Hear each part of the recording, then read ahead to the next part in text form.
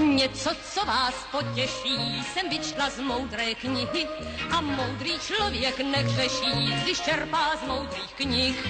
Tak jako pučí ořeší a slunce dělá pihy, tak přirozený v přírodě je vedle ctnosti hřích. Hřeším, hřeším,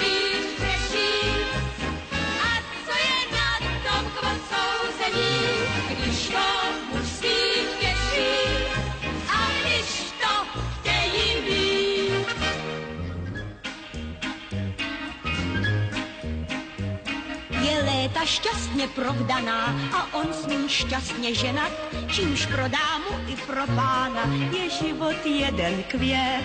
Tu lehká žena prohnaná, hlavní do svých tenat, leč paní jenom do rána, zítra ho máte zpět.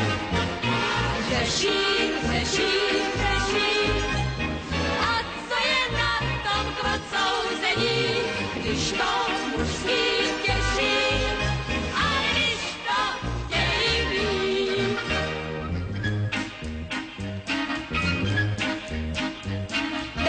se vrátí k rodině, k své manželce a dítkům a znova žije nevinně a tím víc je má rád. Tak proč tu mluvit o vině, když píše nežli pítku, byl tím, že nám povinně měl stát udělit řád.